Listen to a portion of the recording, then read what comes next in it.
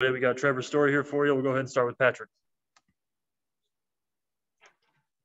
Hi, Trevor. Uh, just off the bat, I wanted to ask you about the final out of the game. Uh, just take us through your mindset um, when you tried to steal second. Uh, they obviously made a really good throw on a bang bang play. Just trying to jumpstart your team and get yourself in scoring position, I assume. Yeah, um, you know, we uh, I felt like I got a good jump. You know, uh, felt like I was running well, and you know, going back to look at the tape, yeah, they just kind of made a perfect play. And um, you know, Diaz is uh, you know tough at bat, so uh, trying to get in scoring position for Chuck to where you know it wouldn't take extra bases. And, um, you know, I'd do it again for sure. But props to them. I think you know McCann made a perfect throw, and uh, Lindor made a nice tag too. one other before I forget. Uh, Stroman was terrific today, obviously. Uh, he made that behind the back grab and then the funky rolling throw to first base. Uh, so, two part question You ever seen a throw from a pitcher to first like that? And the second part of the question looked to me like he was pointing to his the gold on his glove, and he almost looked like he was pimping you guys on the bench. Did you see it that way at all? Uh, to be honest, no, I didn't see it that way. Um, you know, he's a he's a passionate player, man. He, he plays with a lot of emotion, and you know, I think that's okay. But uh, yeah, you know, to me personally, I I didn't see it that way. Just you know, a really good play by him. I've never seen a pitcher do that. Um, you know, I've seen position players do something of that sort, but um, yeah, I mean, he's he's very athletic out there, and that was a nice play and one more for me, Trevor. Um, do you think it'd be it's good for this you guys to get a day off tomorrow? Just take a breather, maybe even not think about baseball for for a day or so. I mean, sometimes that can be, you know, an energizer. I don't know what you think. Your your opinion on that?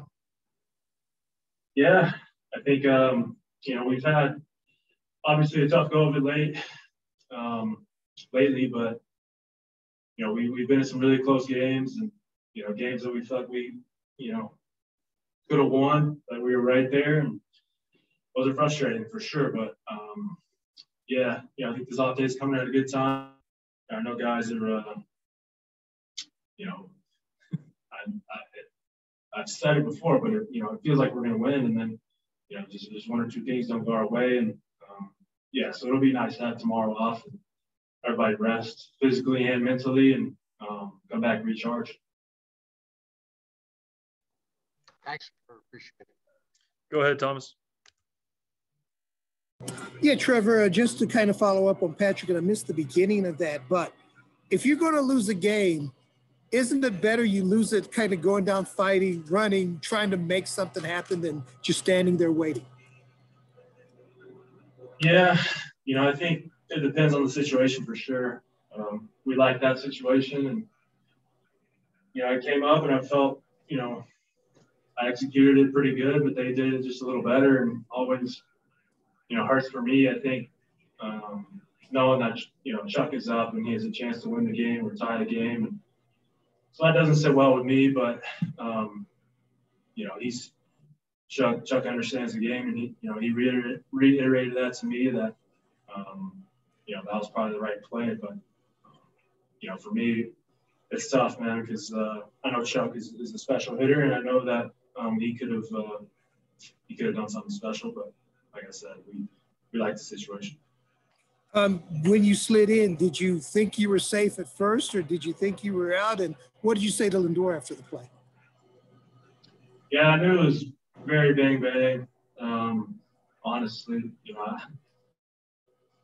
I, I felt the tag, and you know, it was almost simultaneous. It was he got me by, you know, a split second, but course, you know, you get up saying you're safe just because it was it was that close. But um, yeah, you know, I've talked to Lindor a lot over the off season, and um, so you know, just just pleasantries between friends. That's it, man. And uh, how about Antonio today? I know that um, uh, ended up pitching six strong innings for you guys after the last start. What are you seeing out of him? What what is the growth you're seeing out of Antonio? It's been great, man. He's, you know, an aggressive pitcher. He works fast. Love, love playing behind that. And, um, you know, he has that, he has that attitude about him when he's going to attack. And I think that's that's really what it takes, especially pitching here. And done a great job of that. Just to see him grow over the past couple of years, it's been it's been pretty cool, man. And um, he's a good pitcher, man. I, I, love playing behind him. He, he brings that kind of that swagger too. So um, it's been fun. Thanks, Trevor. All right, we'll go to Ed for our last couple of questions. Go ahead, Ed. Trevor, I know this is a question we've uh, we've addressed before, but I wanted to ask you again. You know, with the current situation the lineup is constructed, you've got several guys that are under 200 that are in the lineup every day. Obviously, the offense doesn't have a whole lot of punch right now. If you were going to diagnose the issue in, in terms of not just one or two players, but overall, what would you say the issue is? Um,